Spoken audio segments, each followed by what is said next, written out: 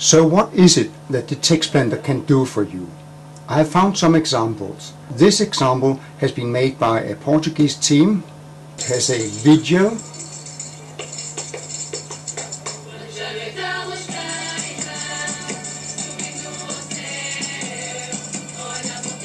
You can click on any word, look up the word in a dictionary, in this case from Portuguese to English, change the target language. Let's say you wanted it in Polish.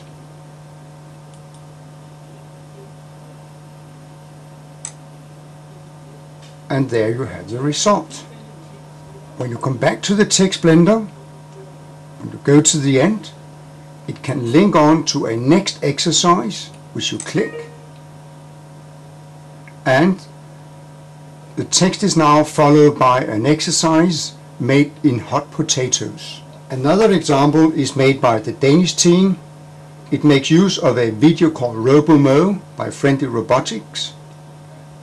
I can start the video.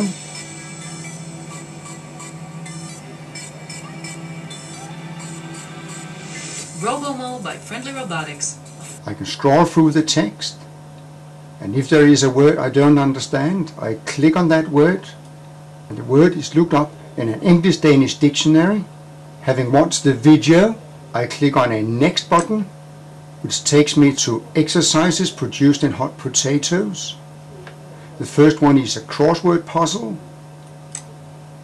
The next one is a drag and drop exercise there is a fill-in exercise, a gap fill exercise, but I have to type in the missing words.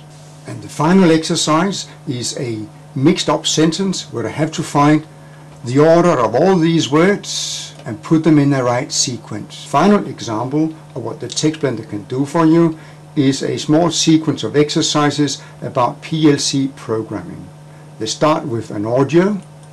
Writing your first program click on a word that I do not understand. In this case I have selected an English to Spanish dictionary. I click on performed.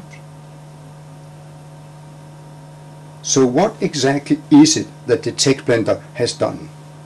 It has created a web page with a headline. There is an audio, an instruction for the user. There is a text where each word has been linked to online dictionaries. There is a graphics,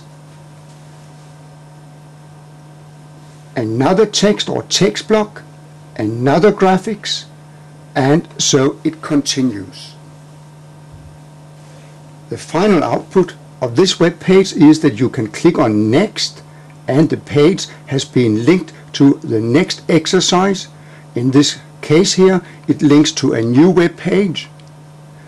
At the end, there is also information for the end user, who is the speaker, Gordon Wells. This example page has been made by the Swiss team. Again, it has a headline. It makes use of a YouTube video, which we can start. Ensure that the equipment is prepared and check that the laryngoscope is working. And again, you can click on any word. This has been linked from English into Italian. To see more examples of what the Text Blender can do for you, go to www.languages.dk, which is the pool's website. You have a selection of different learning units and we have units in a lot of different languages.